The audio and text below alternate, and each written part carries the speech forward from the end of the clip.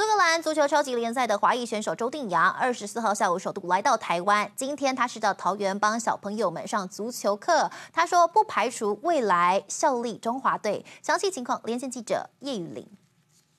好，主播透过画面可以看到，桃园同安国小的体育场内正在上足球课。场上穿着蓝色上衣的教练像个孩子王，和小朋友们打成一片，用脚踢，还用头顶欢乐的踢球。